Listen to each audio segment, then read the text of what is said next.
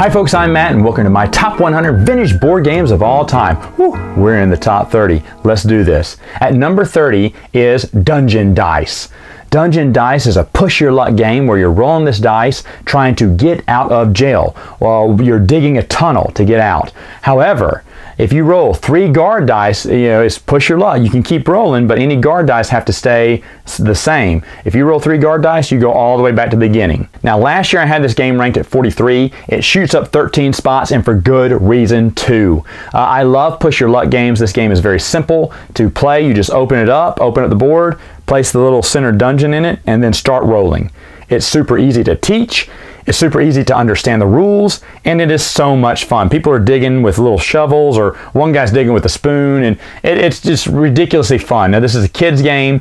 You can get this, I think, for cheap online, but uh, I found a copy at a uh, Comic Con one time. It was stashed away under, a, buried under a list of their junk. I said, hey, I'll take that, and I actually got them to come down off the price. It was 12 bucks, and they said, ah, we'll give it to you for eight. I was like, deal. so I got my copy for eight bucks and it is so much fun. It has been so enjoyable to play. I love push your luck games and I, mm, I don't know, I may have won this game. Usually I don't win push your luck games, but I probably have won this game once or twice, but not that much because you always want to, even though you know you have two guard dice, you're like, what's the odds? I, it's one in six. I can't roll any more guards. That's how it gets you. That's a, they, they should just retheme this Shawshank Redemption, you know, except you have to move your guy and throw dirt on the board. My number 29 was number 36 last year, so it moves up seven spots, and it's no wonder because Knockout is a fantastic game. Knockout, you have this little battery operated rammer jammer. You roll this die, whatever color comes up, you're going to knock that colored brick off the wall without toppling the top brick on the wall. Now, this is a game that when it comes out, gets played a million times back to back to back to back. My wife absolutely loves this game, one of her favorite games, and this is why it keeps trending up on my list. Now, I know, I don't, I don't know how much it goes for you know, secondhand online. I, I, haven't checked it. However, there is a very cheap version, uh, ripoff of this called the Humpty Dumpty game, I think, on Amazon. It's like nine or ten bucks. And it's basically Humpty Dumpty on a wall, and you have a little spade, and you're knocking out bricks, you know, the yellow bricks underneath. However, they're all yellow, so it's not, there's no, you can, you can knock out any brick you want to. Here, when you roll the die, you have to get that colored brick, and the bricks are always set up differently uh, as you stack them, they're always stacked differently in the game. So each game can be very different. I love Knockout. I think it's a fantastic game. And if you ever find it for a good price, you gotta pick it up. My number 28 was number 21 last year. It dropped seven spots, but not to worry because I think how to succeed in business without really trying is going to move back up the list come next year.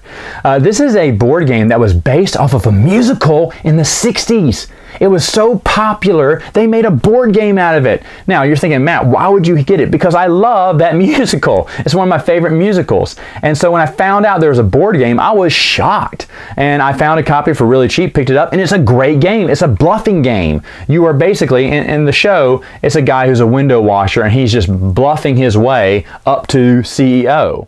And in the game, you're doing the same thing. You're picking cards and discarding cards, and you're trying to get a hand of cards that, you know, qualify you for the position above. Now, when you go to move to that next rank, you don't have to show your cards. You can say, yep, I got it, and move up. And you can bluff. But watch out, because if someone lands on you on that space, they can challenge you.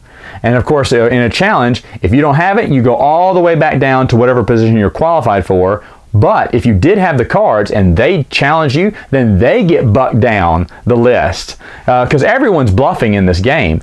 It is such a fun game, especially at the end where any square that you land on another player, you can challenge them. But it gets kind of iffy because you're like, are they really bluffing or they really have it? I'm not going to challenge them because you can bluff well enough because, hey, that's the name of the game, right? Has succeed in business without really trying fantastic game. They got boy pieces, they got girl pieces, they got cards for just men, they got cards for just women.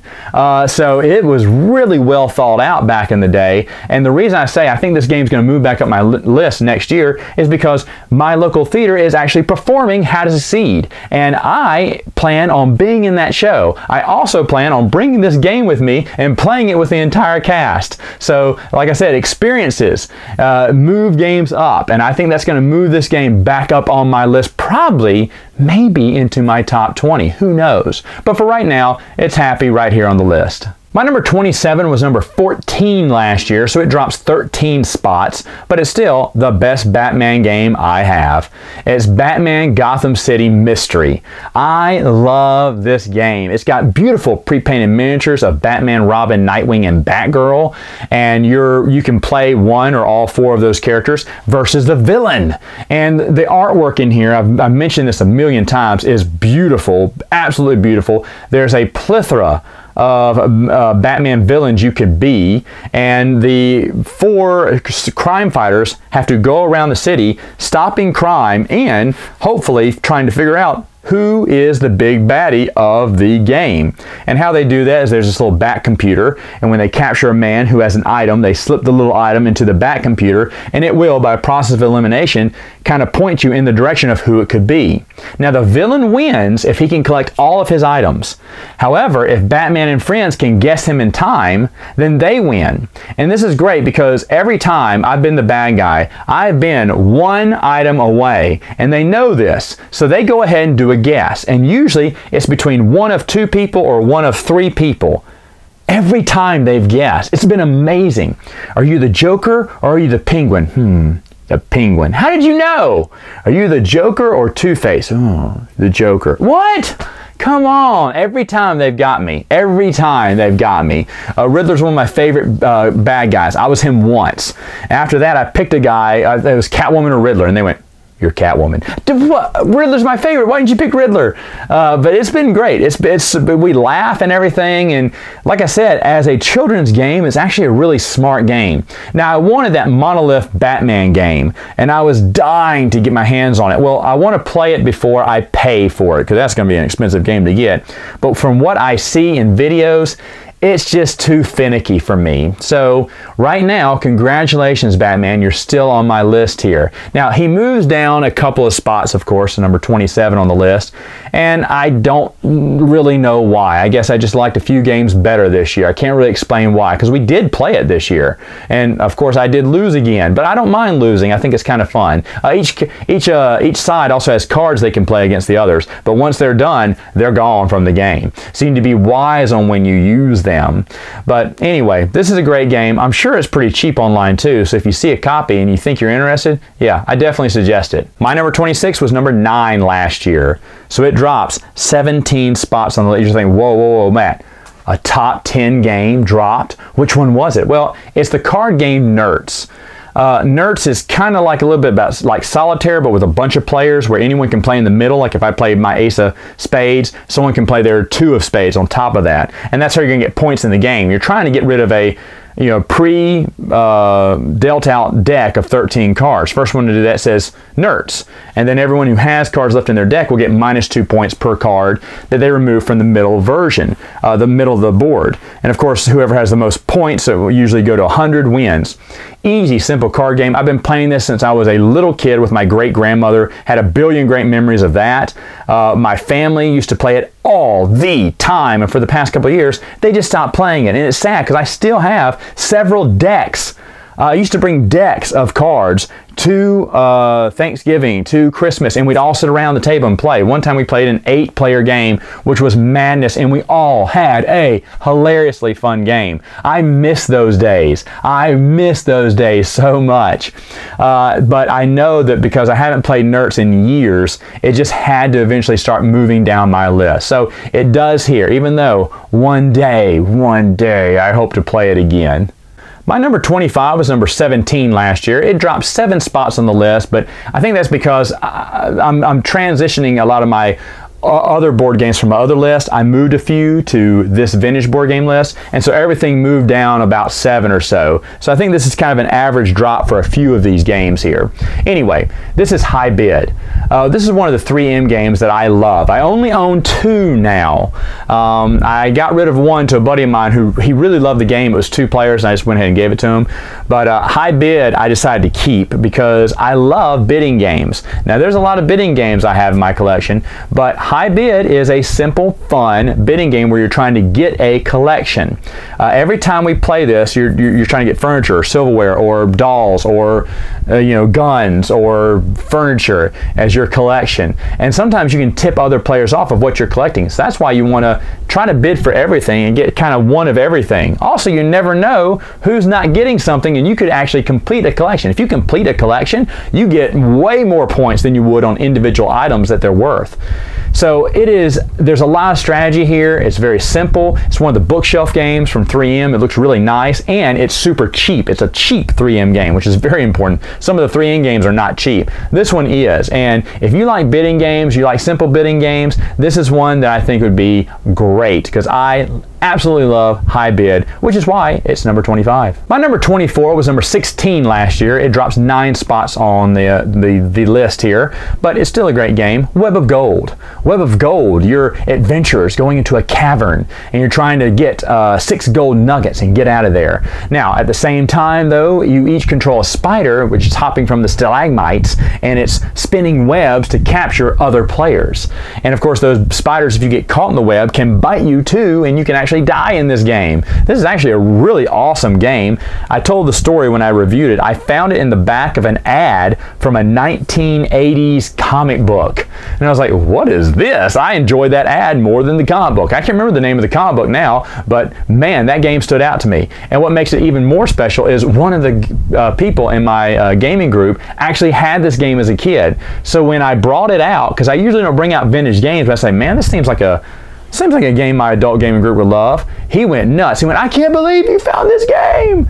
And uh, we played the game a couple of times. It's great. The reason it drops a little bit though is because I realized that there is a vindictiveness about the game where if you, if all the players do not like a certain player, you can guarantee he will not win all the players can gang up on one player and there's nothing that one player can do about it. And it's sad. It sucks. Because uh, if we see someone about to win, you just spin a ton of webs around him and make sure he does not win. Every player goes against him. Now, yeah, I mean, it is what it is, right? But you can do that from the very beginning if you don't want someone to win. And it can make, make it very unfun for that person who's constantly stuck in webs, trying to fight off spiders the whole time while you're, you and your buddy are getting all the gold. So I don't like that aspect of it. But, but besides that, it is still a great game and still in my top 30. My number 23 was number 20 last year, so it only drops three spots, and it's Electronic Mystery Mansion. In Electronic Mystery Mansion, you are trying to find where the million dollars is hid by looking at clues in furniture with a magnifying glass. Sometimes I even need that magnifying glass, and typing it in and getting those clues. If you have all the clues and you find the million dollars first, you win. Now, the game is always different because the setup for it, there's furniture in each room, and the furniture changes. Also, the location of the the treasure changes as well. Again, I am so impressed with electronic board games. They're a thing of the past now because we don't do electronic board games anymore. You get an app now. People make an app. Apps are fine. I like apps. I have a few apps for a few of my games, but man, electronic board games. Ah, what a great invention. It's just it's so impressive. And the game looks great when it when you have all the furniture out there too.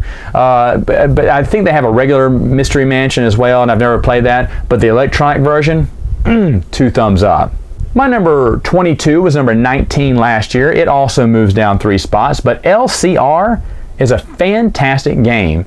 It comes in a little tube like this if you get it from Walmart or Target or one of these retail markets, or you can just go to Dollar Tree. Dollar Tree has a very simple version. It doesn't come in a package, but you can get it for a dollar. Folks, for a dollar, you better pick it up. And I think this costs like five or six dollars.